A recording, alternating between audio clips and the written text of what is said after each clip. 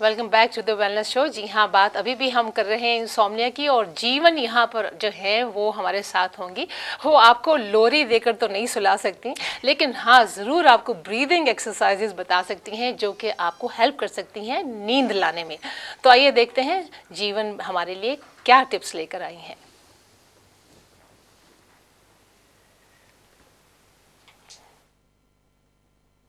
And I'm going to suggest a few postures for you that are extremely beneficial and which most of you will be able to do. Now, first of all, we're going to look at the prayer posture. Now, for this, you have to bring your hands mid back behind you. Okay, so you palms together, arms behind you, as so.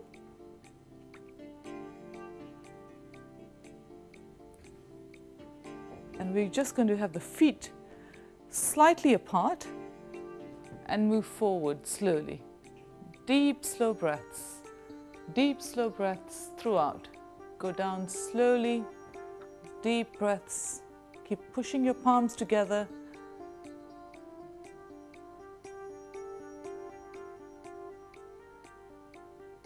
Deep, slow breaths throughout. Slow down your breath out, straighten your neck. Try not to hold your head down. Just straighten your neck. And we come up slowly. Chin down to the front of the neck. Palms together. And we're going to stretch up, shoulders back. Stretch the neck up. Take a deep breath. Breathe out and go forward again. Forward and down. Keep the neck straight. Stretch. Slow breaths in and out. We come up again. Deep breath in. And stretch back.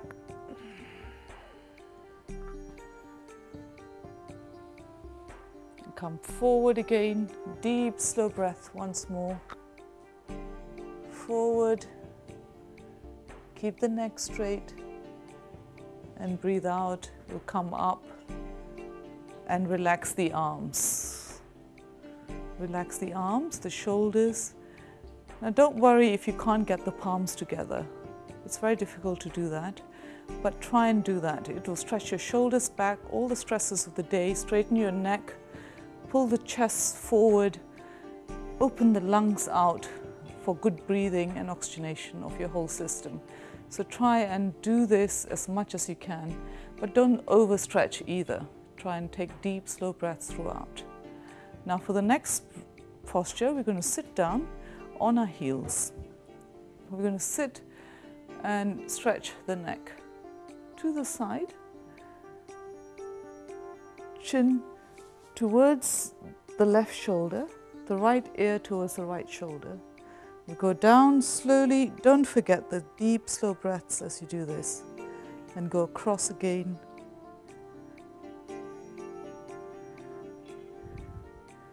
Go back to the middle, chin down to the front of the neck. Pull in the tummy to breathe out. And then look over the shoulder, keeping both shoulders back. That's very important that you keep both shoulders back, chin down to the front of the neck. Deep, slow breaths, and we look over the other shoulder. Stretch as much as you can behind you, go down slowly.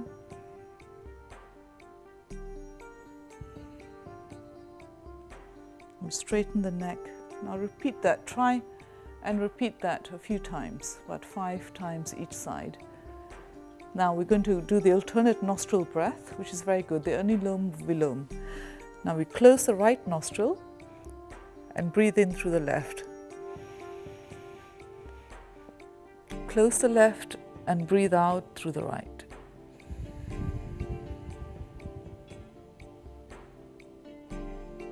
Try and relax the chest, the shoulders as you do that. Breathe in through the right again. Take your time. Try not to stress it, just comfortable breath in and out. Breathe out On the breath out, very important to relax the chest, the shoulders away from the neck on the breath out. Now repeat that about 10 cycles each nostril. Don't forget to breathe in through one and breathe out through the other.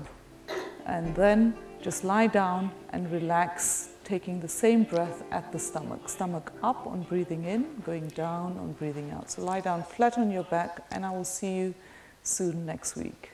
Take care. Today, thank you Jeevan ji हाँ जीवन आपको बता रही थी, थोड़े से ऐसी exercises जो कि आपको हेल्प कर सकती हैं योगा के एक्सरसाइजेज जो कि आपको हेल्प कर सकती हैं इंसोमनिया में।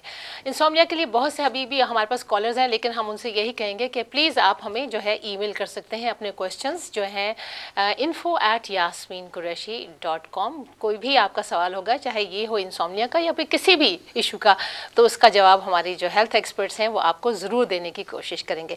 अब हमारे साथ हैं, हमारे आपको मालूम है कि हम बात करते हैं हमेशा सोशल इश्यूज़ पे इमोशनल इश्यूज़ पर आपके मेंटल इश्यूज़ पर और आपके जो लेटर्स आते हैं उनका जवाब देते हैं। हमारी जो है यहाँ पर एक्सपर्ट्स एक हमारी जो है पुष्पिंदर हैं ये आपके लिए ये जो साइकोथेरेपिस्ट हैं आइए उनको वेलकम करते हैं। Hello and welcome the show आपको Yes, बहुत दिनों के बाद पुष्पिंदर आप आई हैं thank you so much for joining. Us और हमारी बबली बबली आसमा सुतरवाला जो कि आपके लिए बहुत सी सजेशंस लेकर आती हैं। जो है सोशल वर्कर भी हैं बहुत एक्सपीरियंस है इनको ज़िंदगी का भी और लोगों से डील करने का भी। तो आइए हम पहले मेरा ख्याल क्वेश्चन जो है लेटर जो है राधर क्वेश्चन तो नहीं है। अच्छा ये कह रहे हैं कि my wife doesn't want to learn English and she is from back home and I have been born and brought up over here all my friends have gotten married to girls that are born and brought up over here and can communicate very well in English. My wife criticizes our social life of how we all get on well. She also doesn't react very well or understand the cultural differences, which is ruining my social life. Which is ruining my social life. What do we? What do I do? Yeah. जी। अब वो वहाँ से शादी करके। शादी करके आई हैं। मेरा ख्याल अरेंज मैरिज मोस्ट प्रोबेबली लगता है arranged marriage है। जी। जी। तो अब उनको कैसे कन्विंस करें कि यहाँ का कुछ तौर तरीका सीखें? बात यह है कि अगर इस मैरिज में अंडरस्टैंडिंग और प्यार है तो जो उनके हस्बैंड हैं जिन्होंने ये ख़त लिखा है उनको समझना बहुत ज़रूरी है।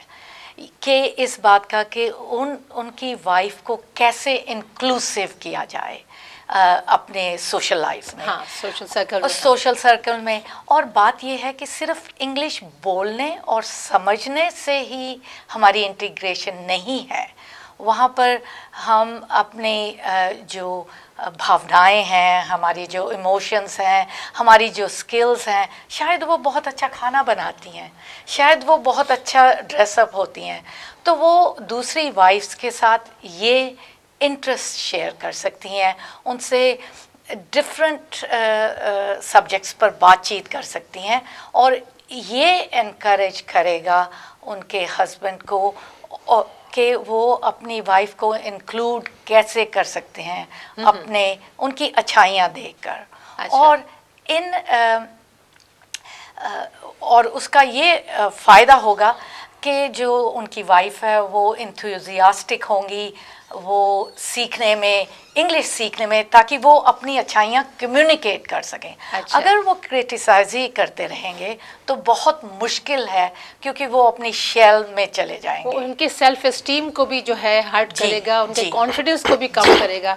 सही आपने बात बताई। जी हाँ आप क्या कहेंगी मैं ये कहूँगी कि पहले ये जैसे पुष्पिंदर ने बताया कि ये अरेंज मैरिज है या लव मैरिज है।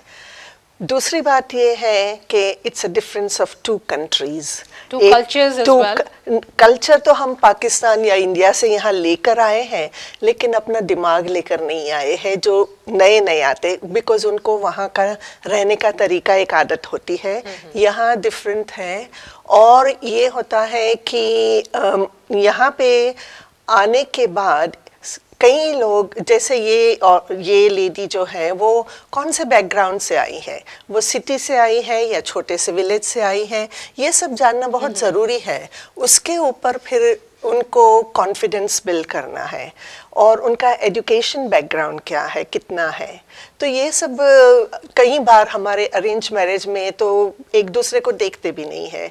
या तो देखते हैं तो माँ ने कहा तो बेटे ने कर लिया या बेटी ने कर तो ये एक बिल्कुल दो लोग एक साथ में रहना तो उसको वक्त लगता है।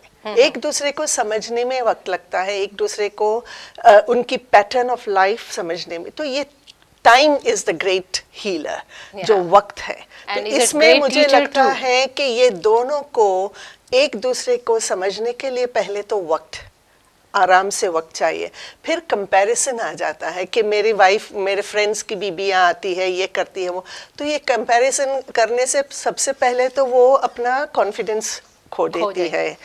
तो ये थोड़ा सा वक्त उसे चाहिए और उनको कंपैरिजन करना पहले तो बंद करे। और पहले वो जो अपने वाइफ को यहाँ तक ले आए हैं वो तो खुद रहते ही उसको नई ज़िंदगी शुरू करनी है।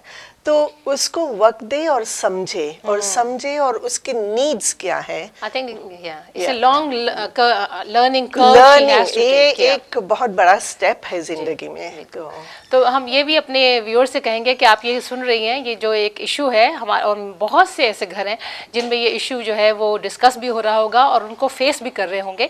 तो अगर आपके पास कोई सजेशन है कोई सोल्यूशन है कोई क्वेश्चन है तो प्लीज़ आप हमें जो है फ़ोन कीजिए और ये नंबर आपको हम देते हैं zero two zero three six three double zero six one zero is the number and we are waiting for your calls तो ये तो आपने जो बताया, अब मुझे ये नहीं मालूम कि कितना अरसा हुआ है, क्योंकि पूरी बात जो होती है, लेकिन अगर बिल फ़र्ज़, अगर थोड़ा अरसा हो चुका है और वो कई लोग बच्चे हैं, वो जो हैं, वो सोचती हैं कि पता नहीं हम बाहर जाएँगे, हमारा मज़ाक बनेगा। इंग्लिश हमें जो है जैसे जब मैं आई थी तो इंग्लिश तो आती थी लेकिन इंग्लिश समझ नहीं आती थी दूसरा बोल रहा? और कई अगर कोई भी कहीं तो मेरा ख्याल है उससे भी जो है some people they get put off some women girls get put off तो. मैं हमेशा ये सोचती थी कि ये मुझे समझ नहीं आएगी तो मैं बोलूँगी क्या? मुझे बोलना आता है लेकिन समझ नहीं आती वो क्या और कॉन्फिडेंस की बात भी है ना कि आपको कई बार समझ भी आ जाता है और इंग्लिश आती भी है। पर आप बोल नहीं पाते।